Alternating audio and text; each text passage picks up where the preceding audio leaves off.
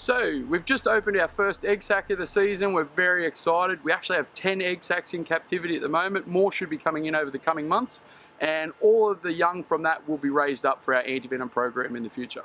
So the reptile park's never really bred a lot of funnel webs in captivity. We've relied heavily on public involvement and capturing and, and dropping them off to our collection points.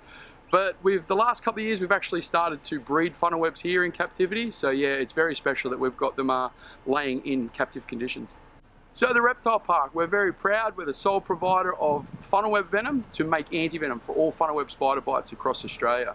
These new babies that are coming in, eventually in a few years time, we'll be able to uh, extract venom from them to go help saving lives.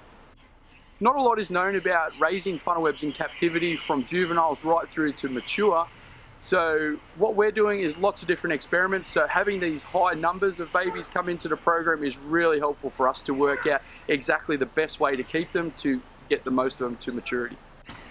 Even though we have uh, close to 3,000 funnel webs here at the reptile park at the moment, it's only a small percentage of those we can actually use for venom extraction. That's the male mature funnel webs.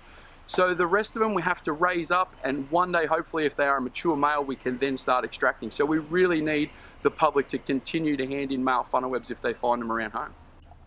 If you want to know more about funnel webs, come up to the Reptile Park. We have venom extraction shows every single day um, and there's plenty of people here that can answer any questions about funnel webs you may have or other spiders in your yard.